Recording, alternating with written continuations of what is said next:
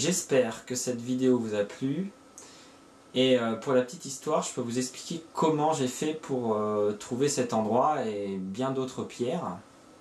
Alors en fait, ce sont des techniques de chasse sous-marine qui en réalité sont des techniques euh, de chasse, hein, parce que les techniques de chasse sous-marine, c'est les mêmes techniques un peu que la chasse terrestre. C'est beaucoup d'observation, de prospection. Il faut observer les animaux, mais tous les animaux en fait, y compris des petits poissons. Pour cette pierre euh, précisément, j'avais remarqué qu'il y avait euh, beaucoup de vie, donc beaucoup d'animaux sur cet endroit, beaucoup de poissons. Et entre autres, j'avais repéré des, sars, des petits. Euh, et je me suis dit, s'il y a des petits sars, c'est-à-dire que c'est un habitat qui plaît à, ce poisson, qui, vit, qui est assez social quand même, hein, qui vit en groupe, un petit peu comme d'autres animaux. Et donc, ben, j'ai fait plein d'apnées avec ces petits sars. Euh, j'ai fait copain avec eux en fait, quelque part.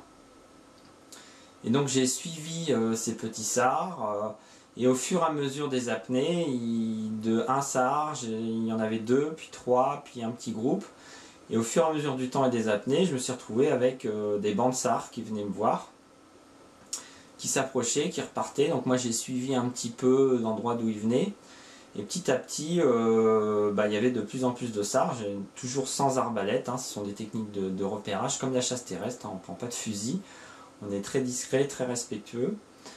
Et euh, au fur et à mesure du temps, euh, eh bien, il y a de plus en plus d'animaux autour de moi.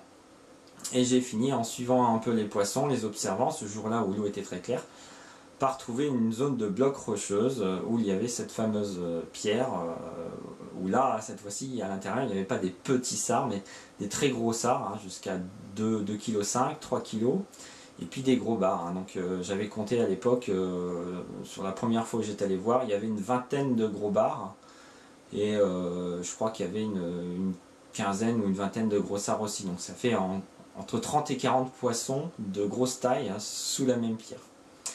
Voilà pour la petite histoire, j'espère que ça vous a plu et puis que ça vous aidera à comprendre mieux les animaux et aussi à trouver des, beaux endroits, des belles pierres pour, euh, pouvoir observer les animaux, éventuellement en, prélever un petit peu dans le respect, si possible pas, pas en attaquant euh, ces endroits-là, mais en pêchant autour. Voilà, merci, au revoir.